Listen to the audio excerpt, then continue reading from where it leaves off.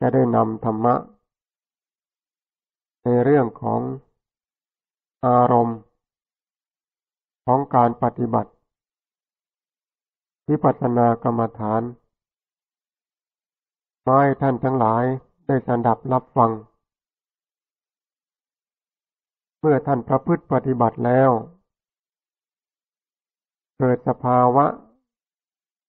ตามความเป็นจริง ได้พิจารณา รู้ว่า อันนี้เป็นอารมณ์ของวิปัสสนาหรือเปล่า อารมณ์ของวิปัสสนา เมื่อเราได้ประพฤติปฏิบัติแล้ว จะเกิดอาการต่างๆ ของญาณในเรื่องของญาณสิบหกญาณแรก เรียกว่า นามรูปะปริเฉทญาณญาณนนี้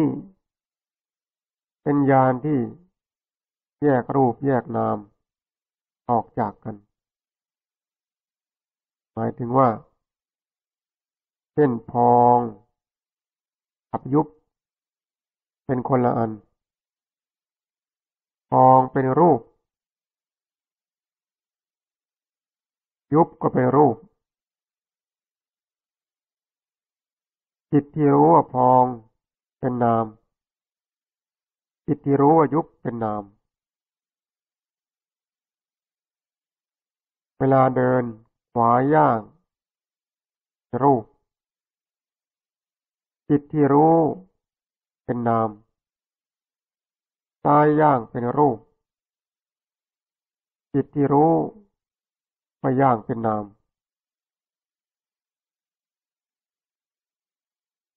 เป็นการแยกให้เห็นว่า รูป ซ้ายก็รูปหนึ่ง รูปขวาก็รูปหนึ่ง จิตที่รู้ซ้ายย่างก็จิตหนึ่งจิตที่รู้ว่าขวาย่างก็จิตหนึ่ง ในลักษณะของญานนี้ ให้โยคีผู้ปฏิบัติ แยกรูปแต่ละอย่างออกจากกัน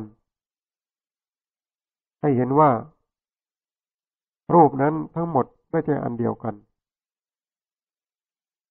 เช่น แยกรูปแยกนามทางตะวันทั้งห้าหนึ่งเวลาตาเห็นรูปสีเป็นรูป รูปเป็นนาม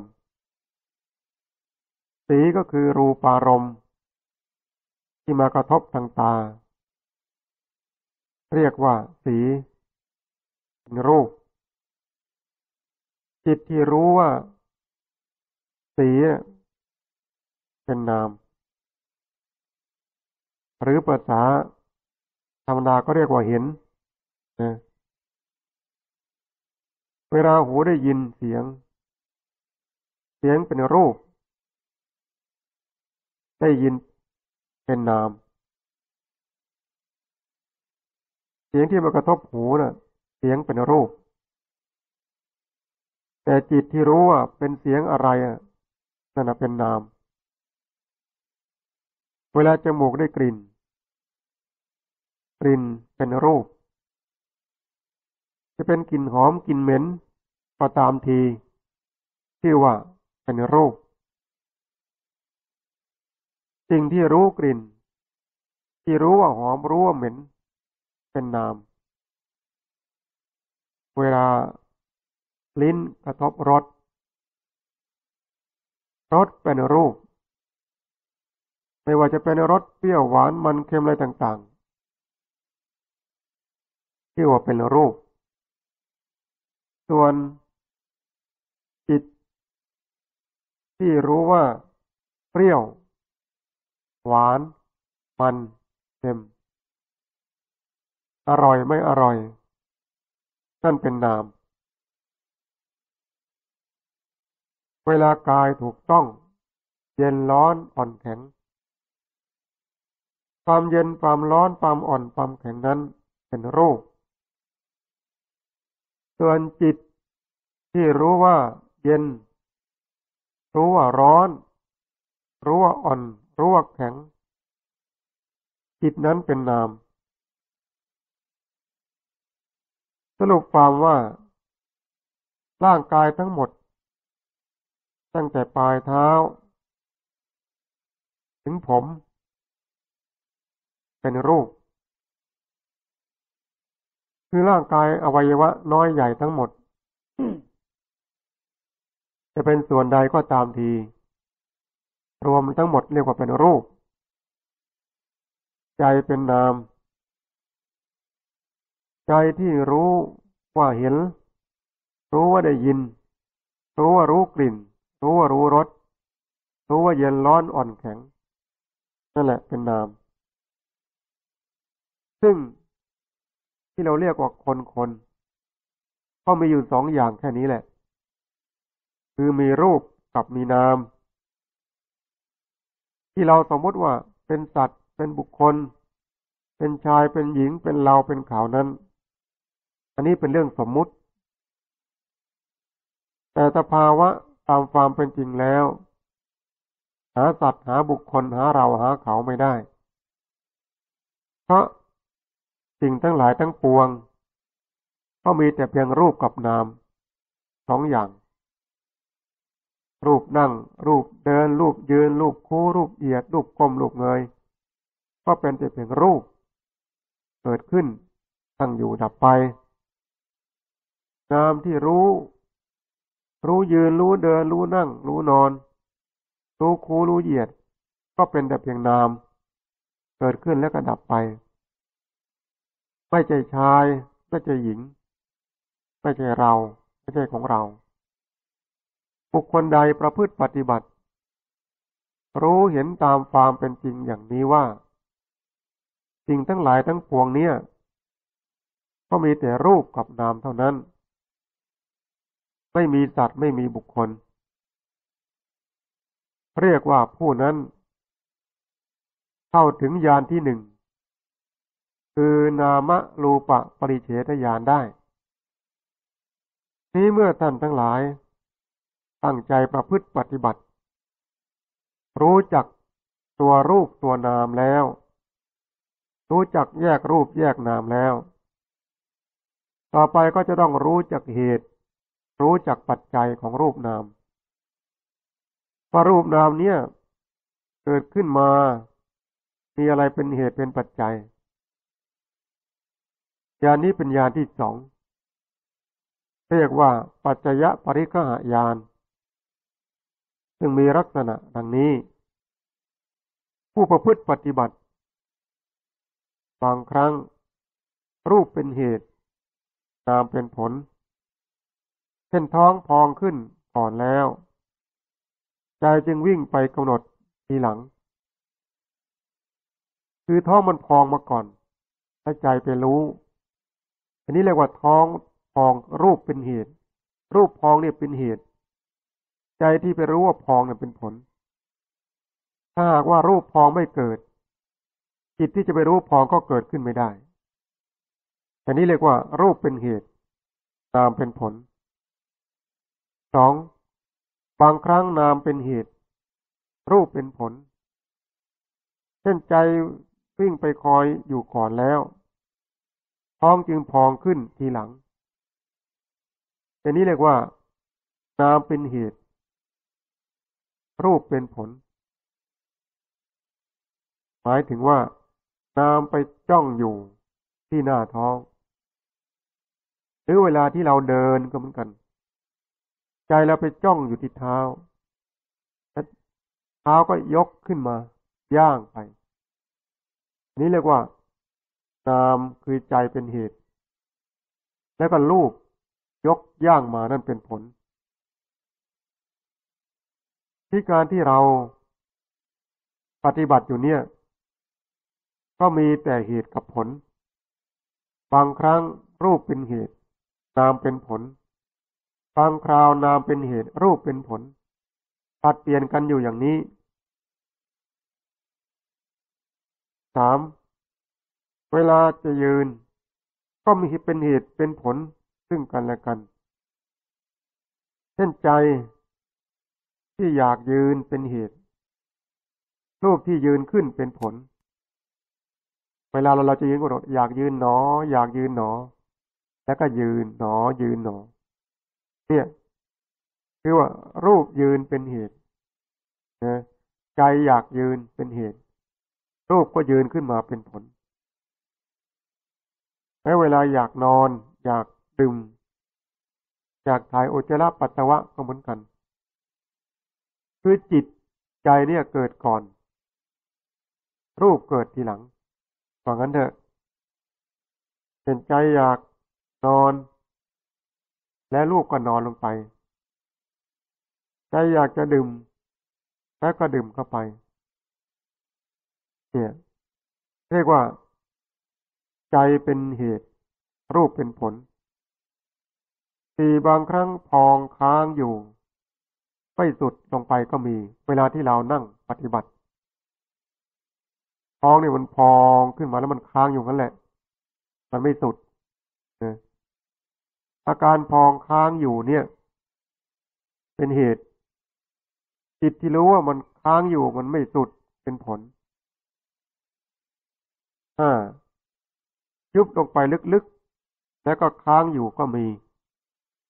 หมายถึงว่าเวลาที่ท้องยุบยุบ มันยุบลงไปลึก แล้วมันก็ค้างอยู่อย่างนั้นแหละ มันไม่ยอมจะพองขึ้นนี่นะ เป็นอาการพองยุบหายไป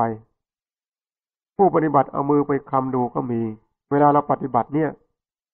รูปมันแสดงอาการหายรูปพองก็หายรูปยุบก็หาย จิตก็ไปรู้ว่า เอ๊ะ พองยุบมันหายไปยังไง อันนี้เรียกว่า รูปเป็นเหตุ นามเป็นผล เวทนา มีมากบ้าง น้อยบ้าง ที่เรื่องของเวทนาเนี่ย ก็เป็นนามจิตที่ไปรู้ ก็เป็นนาม เวทนาเรียกว่าเวทนาขัน จิตไปรู้เรียกว่าวิญญาณขันที่เวทนาที่เกิดกับรูป เป็นเกิดที่ขา เกิดที่เอว เกิดที่หลัง มีอาการปวด อาการเจ็บ อาการเมื่อย อาการมึน อาการชา เวทนาบางคนก็มีมาก บางคนก็มีน้อย เกี่ยวกับสุขภาพบ้าง เกี่ยวกับร่างกายบ้าง บางคนสุขภาพไปดีก็มีเวทนามากก็มี บางคนมีเวทนาน้อย บางคนไม่ค่อยมี ไม่ค่อยเหมือนกันนั้นเรื่องเวทนาเนี่ยบางท่านก็นึกว่าเอ๊ะเรานี่คงจะมีบาปกรรมมาก มีเวทนามากไอ้ที่มีบาปมีกรรมก็มีเหมือนกัน เพราะว่า คนเราเนี่ยถ้าบาปมาก ปฏิบัติก็ลำบากหน่อย ที่ได้บอกว่าทุกขาปฏิปทาทันทาหมายถึงว่าปฏิบัติลำบากบรรลุช้า เพราะเวรกรรมมันคอยจะมาขัดมาฝัง คอยจะมาลิดรอนคุณงามความดี เราก็ต้องอดต้องทนถ้าไม่อดไม่ทนก็ผ่าน เวรกรรมเหล่านี้ไม่ได้ ก็ต้องเลิกละปฏิบัติ ถ้าเราไม่ประพฤติปฏิบัติก็ต้องไปใช้เวรใช้กรรมเวลาใกล้ตาย ตายแล้วต้องไปใช้เวรใช้กรรมตกนรกไปเกิดเป็นเปรตอสุรกายสัตว์เดรัจฉาน ยิ่งลำบากกว่านี้อีกหลายเท่า เรียกว่าต้องลงกันเป็นชาติชาติไปเลยตู้เรามาใช้ชาตินี้ดีกว่าคือมันจะมีเวรมีกรรมอะไรก็เอาใช้กันไป ปวดก็ปวดหนอ ปวดหนอไปเวลาก็กวดน้ำแผ่เมตตาไปหรือนึกขึ้นมาได้ว่า เออ เราเคยฆ่าเขาไว้ เคยตีเขาไว้ เคยทำร้ายทำลายเขาไว้กษัตริย์ก็บุคคลไรนึกได้ก็ แผ่เมตตาปวดน้ำให้เขาไปเขาจะได้อโหสิกรรม ดีกว่า ที่จะไปใช้กรรมเวลาที่จะตาย เพราะว่าบุคคลบางคนที่เคยสร้างบาปสร้างกรรมมานั้นน่ะเวรกรรมเหล่านั้นก็มีมาปรากฏเหมือนกัน เพื่อให้รู้ว่าไอ้ทำบาปเนี่ยมันบาปจริง ๆ นะไม่ได้ไปไหนหรอกฉันยังคอยเธออยู่ ในโอกาสเมื่อไรก็จะให้ผลเมื่อนั้น เพราะนั้นเรื่องบาปนั้นต้องบอกว่าทิฏฐธรรมเวทนิยกรรม บาปที่ทำให้ผลในปัจจุบันก็มี อุปชาเวทนิยกรรม บาปที่ทำให้ผลในชาติหน้าก็มีอปลาปละเวทนิยกรรม บาปที่ทำแล้วจะให้ผลในชาติต่อไปก็มีนั้นบางคนทำบาปวันนี้ได้ผลวันนี้ก็มี ทำบาปวันนี้ให้ได้ผลในปีนี้ก็มีในชาตินี้ก็มี บาปเหล่านี้ก็เรียกว่า อุปชาเวทนียกรรมนะแต่บาปบางอย่างชาตินี้มันยังไม่มีโอกาสให้ผลกำลังไม่พอ แต่จะให้ผลในชาติหน้าก็ให้ผลเมื่อเวลาที่เราตายจากโลกนี้ ก็จะส่งผลให้เราไปเกิดในทุกขติ บาปบางอย่างนั้น มีพลังแรง ตามเรื่อยไป ถ้ายังไม่มีโอกาสให้ผล ทั้งมว่าชาตินี้เราสร้างคุณงาม สร้างบาปสร้างกรรม แต่ว่าชาติก่อนเราเคยสร้างคุณงามความดีไว้ไอ้บาปกรรมที่เราทำชาตินี้มันยังไม่มีโอกาสให้ผล มันก็รออยู่อย่างนั้นแหละ ชาตินี้ไม่ได้ให้ก็รอชาติหน้า ชาติหน้าไม่ก็รอชาติต่อไป จนกว่ามันจะได้โอกาสเมื่อไร ก็จะให้ผลเมื่อนั้น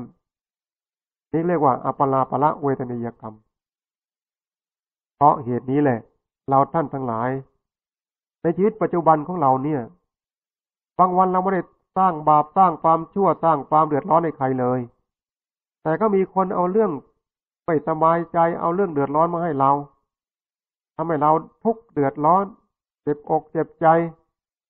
บางครั้งก็นึกตรงว่าเอ๋เราก็ไม่ได้ทำบาปทำช่วยใคร ไม่ได้ทำความเดือดร้อนให้ใคร แต่ทำไมใครมาทำความเดือดร้อนให้เรา เนี่ยบางคนนึกว่าเอ๋เราก็ทำดีอยู่นะทำไมมันกลับได้ชั่วคนทำชั่วทำไมมันกลับได้ดีนี่เพราะว่าไม่เข้าใจถึงเรื่องของกรรมไปสิ่งที่เรากำลังได้รับผลในปัจจุบันเนี่ย มันเกิดมาจากวิบากกรรม ที่เราได้สร้างทำไว่าในอดีตชาติ อาจจะเป็นชาติที่สองที่สามที่สี่ที่ห้าก็ได้บาปนั้นมันตามทันมาก็ทำให้เราได้ประสบความทุกข์ความเดือดร้อน ทั้งๆทที่ปัจจุบันนี้เราไม่ได้สร้างความทุกข์ความเดือดร้อนเลย เราก็เป็นคนที่ใจบุญสุนทานให้ทานรักษาศีลฟังธรรมะ ปฏิบัติธรรมะ แต่ทำไมมันกลับได้รับความทุกข์ความเดือดร้อน ที่เป็นเช่นนี้ก็เพราะว่าบาปเก่าของเรา เหมือนกับว่า วันนี้เราไม่ได้เป็นหนี้ใคร แต่ทำไมคนมาทวงหนี้เรา จริงอยู่วันนี้เราไม่ได้เป็นหนี้ใครไม่ได้ไปยืมของใคร แต่เมื่อวันก่อนเดือนก่อนปีก่อน เราได้เคยไปยืมเขาไว้ เราได้เป็นหนี้เขาไว้ เขาก็มาทวงเอาเข้าไป เหมือนกันนั่นแหละไอ้เรื่องบาปกรรมที่เราสร้างเราทำไว้ เมื่อในโอกาสโอเวลาเขาก็มาให้ผล มาให้เราได้เสวยผลของกรรมนั้นฉะนั้นการที่เรามาพึ่ปฏิบัติวิปัสสนาเนี่ยบางทีก็มีบาปเก่า มาแสดงให้ทุกเวทนา ทุกกายบ้างทุกใจบ้าง แต่เราควรจะดีใจและภูมิใจว่าเอาเถอะ เราจะได้ชดใช้บาปชดใช้กรรมแต่ไม่ตายเข้าไปจงเป็นสุขเป็นสุขเถิด เจ้ากรรมในเวรทั้งหลาย ให้ได้จองเวรซึ่งกันและกันเลย จงเป็นสุขเป็นสุขเถิดเจ้ากรรมในเวรทั้งหลายจะได้เบียดเบียนซึ่งกันและกันเลย แต่อยู่อย่างเนี้ยจนฝ่าอาการนั้นจะหายไป แล้วก็แผ่กุศลให้เขาทุกครั้งทุกครั้ง การสร้างบาปสร้างกรรมและบาปอโหสิกรรม มันก็เหมือนกับว่าคนเราที่ทะเลาะหวาแวงกันแล้ว เมื่อมันมีการ จองเวรจองกรรมกันอยู่ เจอหน้ากันมันก็จะตีกันทะเลาะกันประหัตประหารกัน แต่ถ้าหากว่าเรามาฟองดองกันซะได้ ตกลงกันได้ให้ความอภัยแก่กันและกันได้ ก็เลิกล้มการจองเวรจองกรรมก็ไม่ต้องมาตีกันไม่ต้องมาทะเลาะกันอีกต่อไป เรื่องเวรเรื่องกรรมก็เหมือนกัน ถ้าหากว่าเจ้ากรรมนายเวรเอาโหสิกรรมให้ ทำนั้นก็เป็นโหสิกรรมไป ก็ไม่ต้องไปใช้ในชาติหน้าพบหน้าฉะนั้นการที่เราประพฤติปฏิบัติบางครั้งที่มีเวทนาเกิดขึ้น เราก็กำหนดนะถ้านึกถึงเวรกรรมได้ก็แผ่เมตตาแผ่กุศลให้ไป นี่แหละ เวลาที่เราปฏิบัติจะมีเวทนา ที่บางคนก็จะมีนิมิตนะนิมิตที่เกิดขึ้นมาเนี่ย เห็นเป็นรูปตัดเป็นป่าเป็นภูเขาเป็นแม่น้ำเป็นลำธารสถานที่ต่างๆ คนที่ตายไปแล้ว เทวดาเป็นต้น เจ้านิมิตต่างๆเหล่านี้เกิดขึ้นตั้งอยู่เดี๋ยวก็นิมิตใหม่มาอีกแล้ว ยังไม่ทันเห็นความดับไป เห็นแต่ความเกิดขึ้นความตั้งอยู่ของนิมิต ตัวอุปาทะฐิติ แต่ยังไม่เห็นภังคะความดับของนิมิต หมายถึงว่านิมิต เมื่อปรากฏเกิดขึ้นยังไม่ทันหายไปนิมิตใหม่เกิดขึ้นมาอีกแล้วเป็นลักษณะของนิมิตของญาณที่สองนั้นเมื่อนิมิตเหล่านี้ปรากฏเกิดขึ้น โยคีผู้ปฏิบัติค่อยตั้งสติกำหนดว่าเห็นหนอ เห็นหนอนะไม่ต้องกลัวมิตบางอย่างมาแต่ไกล พอกำหนดเห็นหนอยหนอมาใกล้ตาก็หาย บางอย่างโผล่พุกขึ้นมาใกล้ๆนิมิตนี้ก็เป็นแต่เพียงนิมิต ไม่ใช่ของจริงบางทีก็เห็นเป็นแบงค์เต็มห้องแหมแบงค์ร้อยทั้งนั้นเลยลืมตามไม่มีสักบาทหนึ่งบางทีก็เห็นเป็นร่างรองกระดูกลืมตาก็ไม่มีอะไรนะบางคนเห็นเป็นพุทธรูปเห็นเป็นดอกไม้ บางคนเห็นเป็นสิ่งที่สวยงามยินดีพอใจ แต่มันเป็นเพียงนิมิตเท่านั้นแหละ พอลืมตาก็ไม่มีหรอก ให้เราเข้าใจว่ามันเป็นเพียงนิมิต เกิดขึ้นด้วยอำนาจของสมาธิของวิปัสสนาญาณให้กำหนดนะเห็นหนอเห็นหนอนิมิตก็จะหายไป บางอย่างก็อาจจะหายเร็ว บางอย่างก็อาจจะหายช้าแล้วแต่อำนาจสมาธิอำนาจสติที่อาการที่เรากำหนดเนี่ย อาการพองยุบกับจิตที่กำหนด ไปพร้อมๆกันก็มี นะถึงว่าเหตุผลเนี่ย เกิดขึ้นมาให้เราได้พิสูจน์ ที่การที่เรากำหนดอาการของพองของยุบ อันนี้เพื่อเป็นหลักของการปฏิบัติ จะได้รู้ว่าอาการที่เกิดขึ้นเนี่ย อะไรเป็นรูปอะไรเป็นนามอะไรเป็นเหตุเป็นปัจจัย เพราะตามหลักแล้วองค์พระสัมมาสัมพุทธเจ้าสอนว่า ทำทั้งหลายมันเกิดแต่เหตุ ที่เรามาปฏิบัติก็จะได้รู้ว่าอะไรเป็นเหตุแล้วเวลาเราจะดับก็ดับที่เหตุนะที่บางคนเวลานั่งเนี่ยบางทีมันก็มีสับประงกปุ๊บไปข้างหน้าบ้าง ไปข้างๆบ้างที่มีอาการสับประงกเหมือนกัน เวลากำหนดพองเนี่ยจะรู้สึกต้นพองกลางพอง แต่สุดพองปรากฏไม่ชัด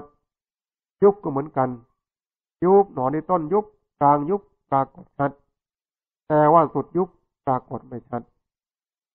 ที่เป็นเช่นนี้ก็เรียกว่า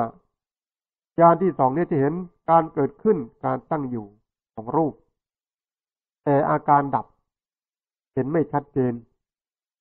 สัญญาณนี้เรียกว่าสปัจจยปริฆญาณท่านว่ากบุคคลใดประพฤติปฏิบัติวิปัสสนากรรมฐาน ได้ ผ่านญาณที่สองรู้เห็นตามความเป็นจริงว่า รูปนามขันห้านี้เกิดขึ้นเพราะเหตุเพราะปัจจัยดับไปเพราะหมดเหตุหมดปัจจัยแค่รูปนามนี้เป็นเหตุเป็นปัจจัยแก่กันและกันส่วนเหตุปัจจัยในอดีตนั้น ซึ่งเกิดจากอวิชชาตัณหาอุปาทานกรรมอาหารนั้นจะได้อธิบายท่านทั้งหลาย ได้ฟังในวันข้างหน้า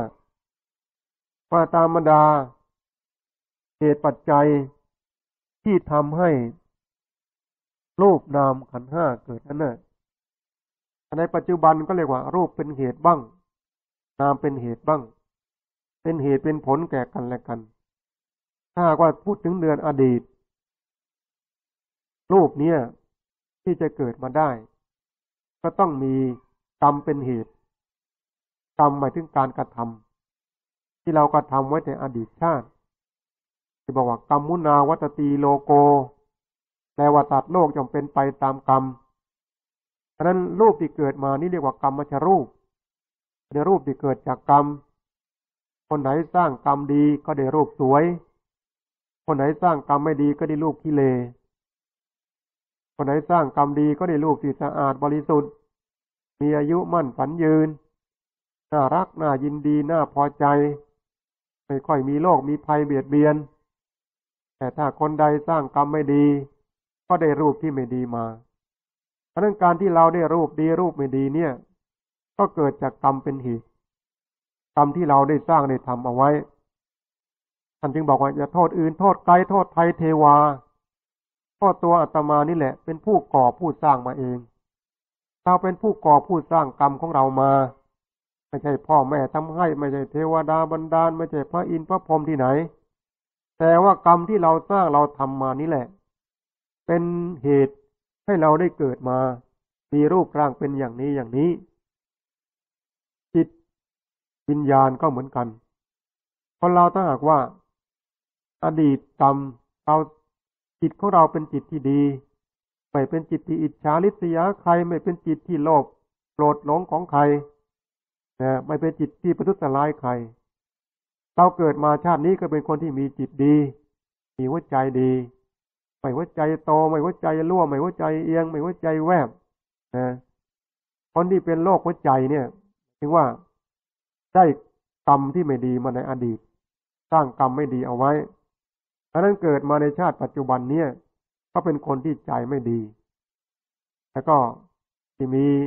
จิตใจวิปริตวิปลาสต่างๆกันเพราะว่ากรรมที่เราสร้างเราทำไว้ไม่ดีนั้นกรรมนั้นส่งผลมาให้เราเกิดมาเนี่ย ก็ได้จิตที่ไม่ดีนั้นท่านจึงบอกว่า การเกิดขึ้นของสัตว์โลก เพราะมีกรรมเป็นปัจจัยนะเรียกว่ากรรมมาปัจจโย เรามีกรรมเป็นปัจจัยให้เกิดขึ้น